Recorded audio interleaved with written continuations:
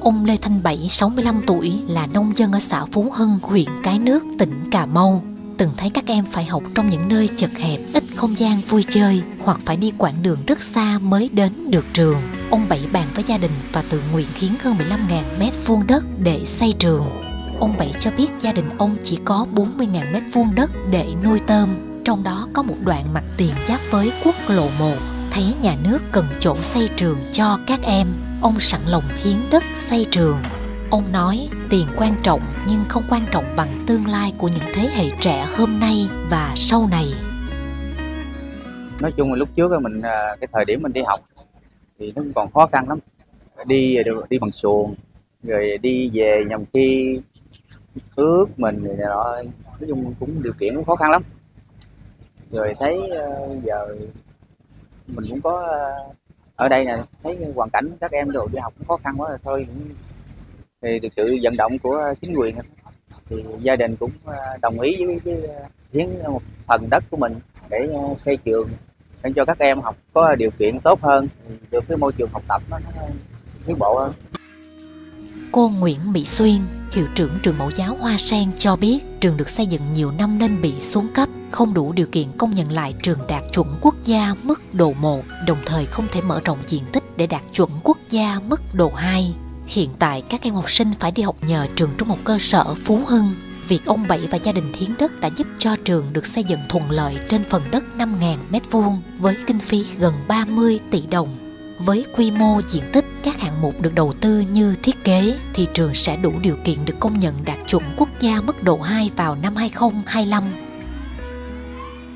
Trường mầm non Hoa Sen thì à, được thành lập và xây dựng vào năm 2005 À, tuy nhiên á, thì à, điều kiện cơ sở vật chất của trường cũng xuống cấp, không đủ điều kiện để à, công nhận lợi chuẩn quốc gia mức độ 1. À, từ những cái khó khăn trên thì trường à, cũng đã tham mưu tích cực với các ngành các cấp ở địa phương à, đặc biệt là à, lãnh đạo ở địa phương rất là quan tâm à, về cái điều kiện cơ sở vật chất xuống cấp và diện tích đất không đủ để mở rộng xây dựng trường đạt chuẩn quốc gia mức độ 2 để theo tiêu chí đạt chuẩn nông thôn mới ở địa phương.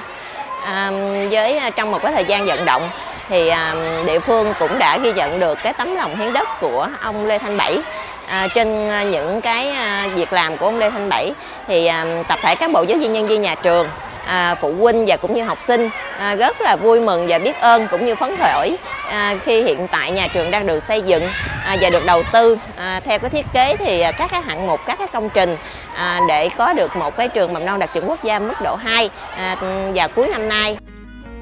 nằm sát bên trường mẫu giáo Hoa Sen, trường trung học cơ sở Phú Hưng hiện tại rộng khoảng 6.300 m2. Do quy hoạch, ngôi trường hiện hữu với 22 lớp học và khoảng 900 học sinh sẽ phải dời đi. Nếu áp theo tiêu chí quy định, trường không đủ điều kiện công nhận đạt chuẩn quốc gia mức độ 1.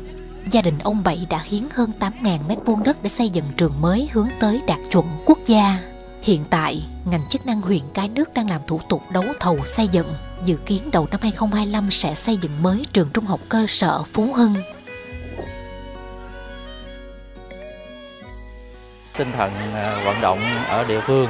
với ông Lê Thành Bảy hiến đất để xây dựng cơ sở mới. Thì thầy và trò trường trung học cơ sở Phú Hưng rất là à, hân hoan để à, đón tiếp, sẽ được à, xây dựng một cơ sở mới trên cái khu đất mới với trang thiết bị khang trang hơn. Đó là cái mong mỏi của toàn thể tập thể nhà trường và học sinh cũng như là phụ huynh ở địa phương. Thì với ông bảy tinh thần hiến đất như thế thì nhà trường cũng rất là ghi nhận, rất là quan hinh và luôn mong mỏi để được một ngôi trường mới khang trang. Ông Lê Thanh Bảy sinh ra trong một gia đình gốc nông dân. Đất mà ông tặng để xây dựng hai trường học là thành quả lao động vất vả, tích lũy được từ nhiều thế hệ trong gia đình. Mặc dù đó là đất mặt tiền, có vị trí thuận lợi, được người dân gọi là đất vàng có giá trị cao nhưng đối với ông đóng góp vì sự nghiệp giáo dục vì sự phát triển chung của quê hương thì không có gì phải lăng tăng tiếc nuối